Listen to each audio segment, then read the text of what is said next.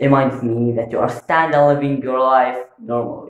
And suddenly, a storm above your head and lightning discussed on you and falls on the ground.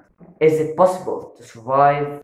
This is the new playlist in this channel, How to Survive. And now, check the intro. What the shit? Walk me through my two step. One minute, please. Please, please, please, please subscribe to this channel to become 1000 subscriber.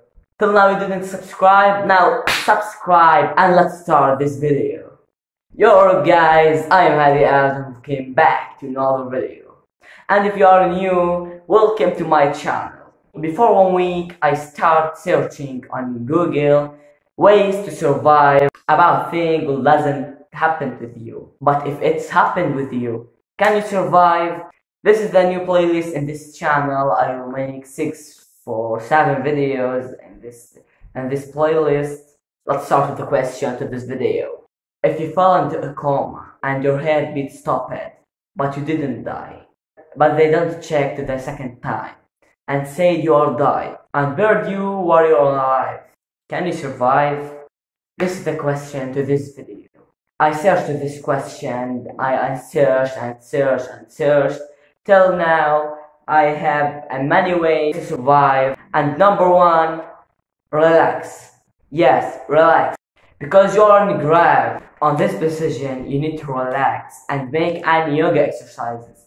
What? I'm in the grave. Do what do you mean in the grave? I will die. No, you never die.